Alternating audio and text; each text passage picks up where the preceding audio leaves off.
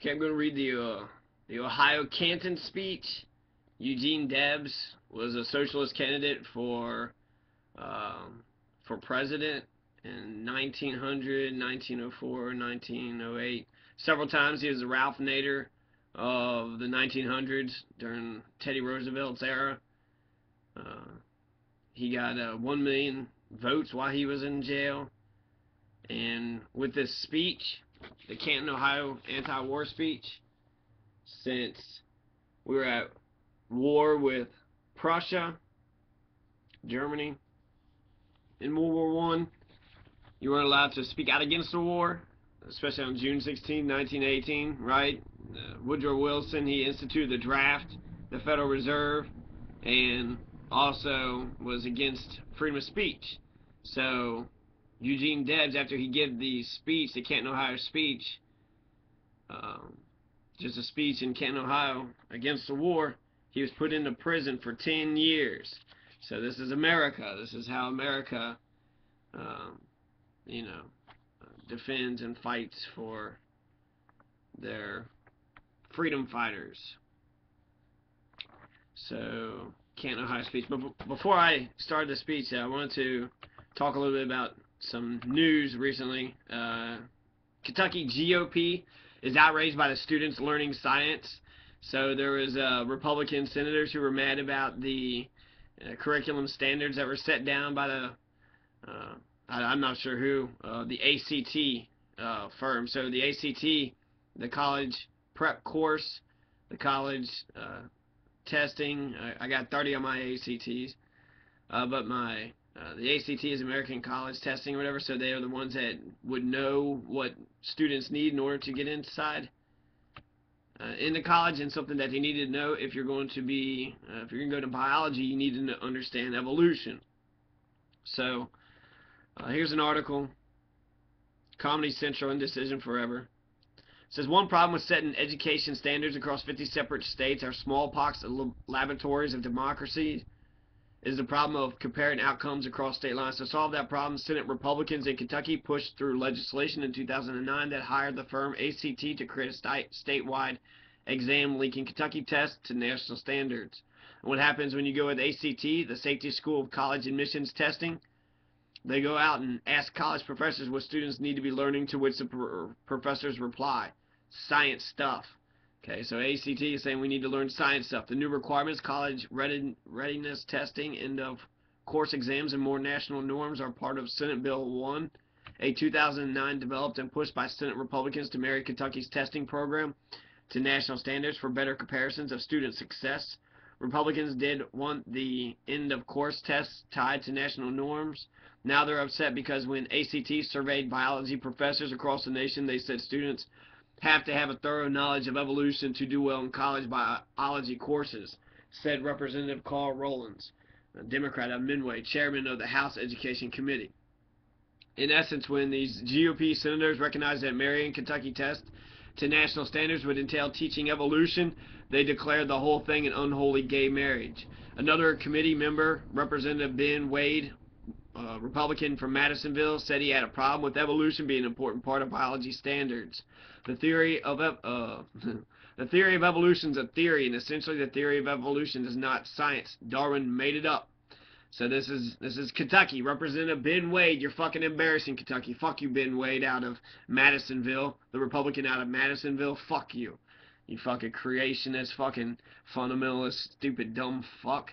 You're you're uh, stopping any biologist from going to college, from any person who might want to study biology. If they listen to any of the dumb bullshit you're saying, you're preventing that career from them. Fuck that. That's that's stupid. I got my questions, you know, um, but I don't know. The theory of evolution is a theory. Uh, essentially, a theory of evolution is not science. Darwin made it up. Waide, Ben Waide, my objection is that they should ensure whatever scientific materials being put forth as a standard should at least stand up to scientific method. Under the most rudimentary basic scientific examination, the theory of evolution has never stood up to scientific scrutiny. So that's a really smart way to say that evolution does not exist. It's bullshit, but that's it. No more scientific theories made up by people. I'm looking at you, Newton and Einstein. so, That's the article, Comedy Central. You also have uh, National Center for Science Education. Kentucky legislators assailing evolution. So they also wrote um, the teaching of evolution and climate science. So they wrote an article. Legislators in the Kentucky State Senate are concerned about the presence of evolution in state science standards and associated end of course testing. According to the Lexington Herald Leader, August 14, 2012, several GOP lawmakers questioned new proposed student standards and tests that delve deeply into biological evolution during a Monday meeting of the Interim Joint Committee on Education. In an exchange with officials from ACT, the company that prepares Kentucky's new state testing program, those lawmakers discussed whether evolution was a fact and whether the biblical account of creationism also should be taught in Kentucky classrooms. State Senator David Givens, Republican District 9 told the Herald Leader, I would hope that creationism is presented as a theory in the classroom and a science classroom alongside evolution. So a fucking senator, we got 100 representatives and 38 senators, just like the national government. It's a bicameral house. So we have senators and we got representatives. 38 senators, 100 representatives. Way too many. Well, not too many. That's good. We got lots of representation, but we need to be paying attention to a lot of our representatives. We got way too many for a common citizen to be paying attention, and we don't have enough citizen groups actually paying attention. KFTC, Kentuckians for the Commonwealth. It's the only fucking citizen group that I see is actually putting, um, well, I guess, uh, Freedom Heritage, but that's a libertarian group, which is fine. Um, but no progressive groups are standing up, and you know. I, I would rather not champion Rand Paul, but if he's the only one that's against the war and stand up to the Patriot Act and the NDAA and uh, any of the other legislation that's legalizing any attacks by our uh, police against our citizens, that's some bullshit. That's, that shouldn't be allowed. Some bullshit.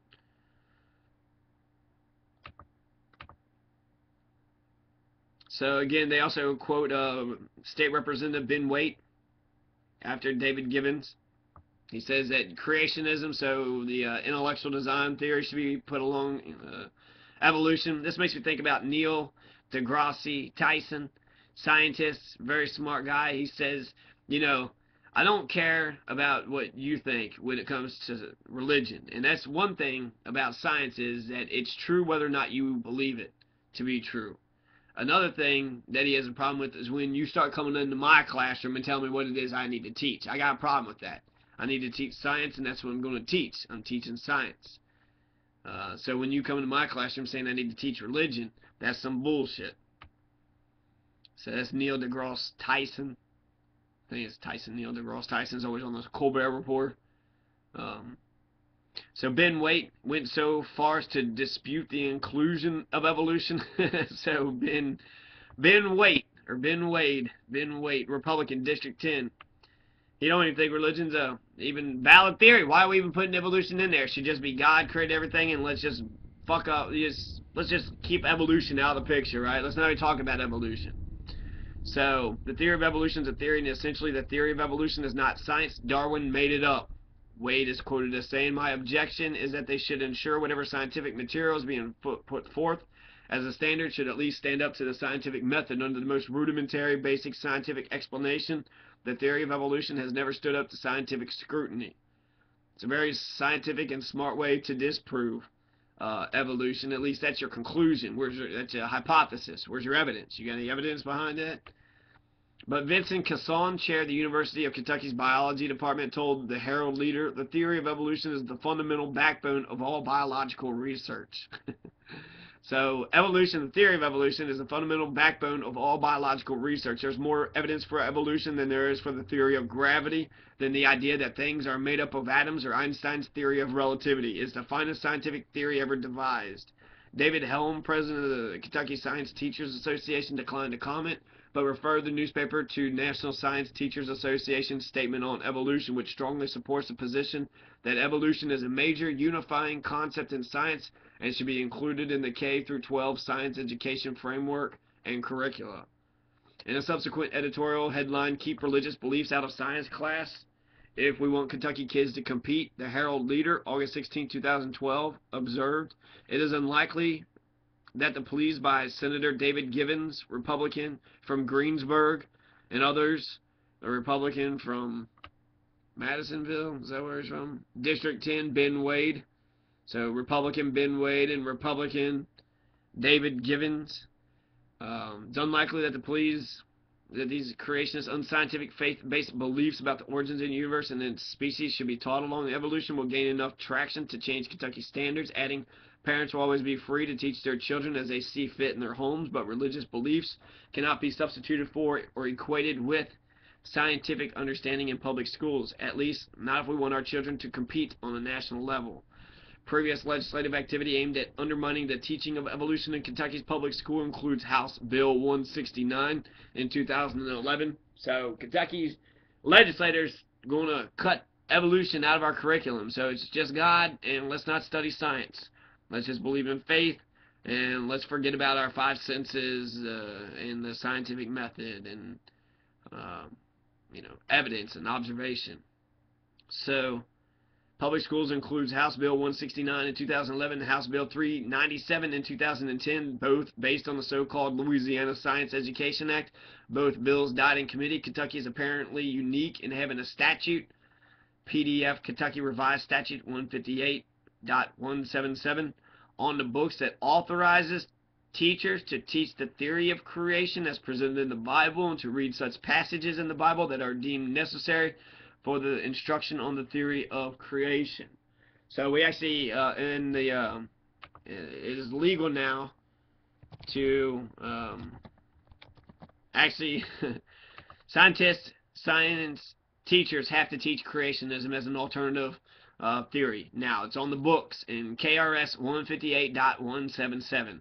So KRS 158.177, it's on the books that says that we have to teach theory of creation as presented in the Bible. So the Bible creation theory in Genesis is what had happened, and read such passages in the Bible as deemed necessary for instruction on the theory of creation.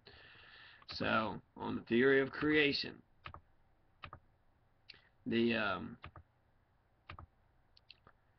uh, yeah, yeah. So uh, I was thinking about Kentucky being the home of John Thomas Scopes. Uh, from the famous Monkey Scopes trial, the state of Tennessee versus John Thomas Scopes. John Thomas Scopes.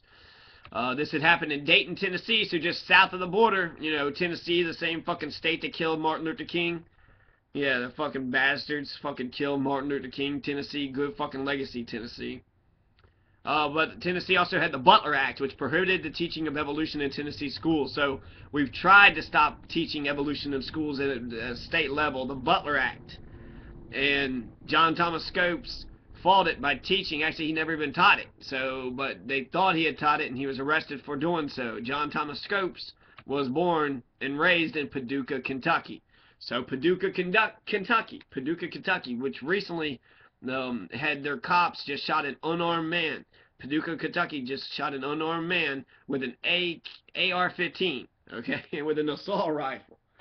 Uh, the Bowling Green Police Department pulled out an AR-15 and popped one round, okay? He didn't pull out his handgun and shoot, but he pulled out an AR-15 from out the back of his trunk and killed one guy. It was just him and the other guy, so one drunk who was unarmed and the guy who shot him with a badge.